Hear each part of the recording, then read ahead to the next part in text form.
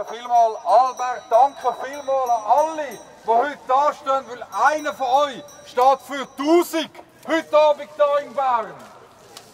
Dann, ich sage allen, geht in die Ferien, geniessen den Sommer, solange ihr könnt, weil das, was uns droht, hat das Potenzial, schlimmer zu werden, als alles, was wir in den letzten zweieinhalb Jahren haben müssen erleiden.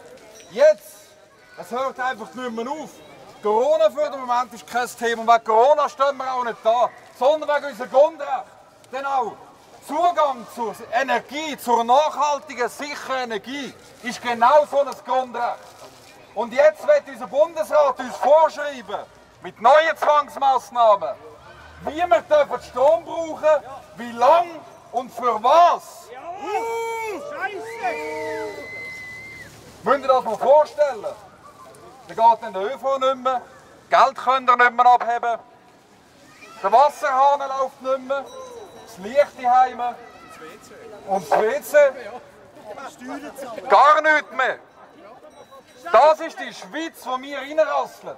Das reichste Land der Welt hat gar keinen Strom mehr. Und das ist keine Überraschung. Davor hat man schon gewarnt, vor fünf, sechs Jahren, bei der Energiestrategie 2050. Hat es Plakat gegeben, kalt duschen mit Doris.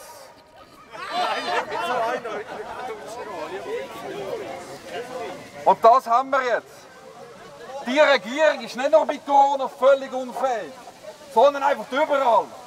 Deswegen stehen wir nicht da gegen die Regierung, sondern wir stehen da für eine lebenswerte Zukunft, für eine Zukunft in Freiheit von jedem Einzelnen von euch.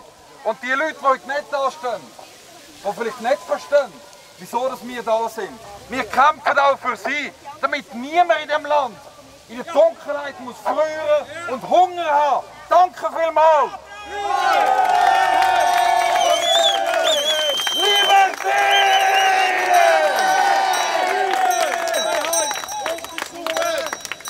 Danke, sind ihr heute da gewesen, kämpft weiter, geniessen den Sommer, erholt euch gut.